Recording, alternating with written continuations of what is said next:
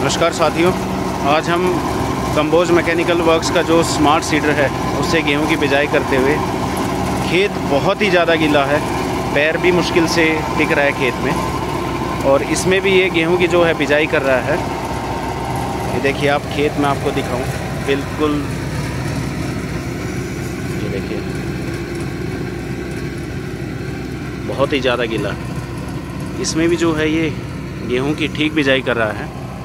इसके लिए थोड़ा सा आपको जो हाइड्रोलिक है, उसको ऊपर रखना पड़ता है। बस गेहूँ की जो टाइनें हैं, वो घूमती रहें। धन्यवाद।